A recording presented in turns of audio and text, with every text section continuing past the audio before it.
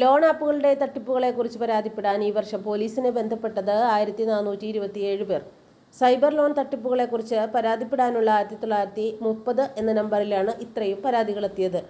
രണ്ടായിരത്തി ഇരുപത്തിരണ്ടിൽ ആയിരത്തി മുന്നൂറ്റി നാൽപ്പത് പരാതികളും രണ്ടായിരത്തി ഇരുപത്തി ഒന്നിൽ ആയിരത്തി നാനൂറ് പരാതികളും ലഭിച്ചു. പരാതികളിൽ പറഞ്ഞ ആപ്പുകളും ബാങ്ക് അക്കൗണ്ടുകളും ഫോൺ നമ്പറുകളും പരിശോധിച്ച് തുടർ നടപടികൾ സ്വീകരിച്ചതായി പോലീസ് പറഞ്ഞു. കൊച്ചിയിൽ ലോണാപ് തട്ടിപ്പിനിരയായി രണ്ട് കുട്ടികളെ കൊലപ്പെടുത്തി ദമ്പതികൾ ജീവനൊടുക്കിയ സംഭവത്തിന് ശേഷം പോലീസ് എഴുപത്തിരണ്ട് ആപ്പുകൾ നീക്കം ചെയ്യാൻ നടപടി ആരംഭിച്ചു. പണം കൈമാറിയ ആപ്പുകളുടെ ബാങ്ക് അക്കൗണ്ടുകൾ മരവിപ്പിക്കാൻ നടപടിയെടുത്തു.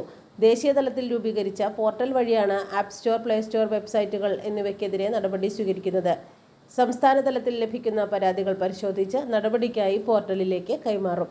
ലോൺ ആപ്പ് തട്ടിപ്പിന് നിരവധി പേർ ഇരയാകുന്നുവെങ്കിലും ആത്മഹത്യകൾ റിപ്പോർട്ട് ചെയ്തതോടെയാണ് പരാതിക്കാരുടെ എണ്ണം വർദ്ധിച്ചത്. ലോൺ ആപ്പ് കേസുകളിൽ ഇതുവരെ രണ്ട് എഫ്ഐആർ മാത്രമാണ് രജിസ്റ്റർ ചെയ്തിരിക്കുന്നതെന്ന് സൈബർ പോലീസ് പറയുന്നു.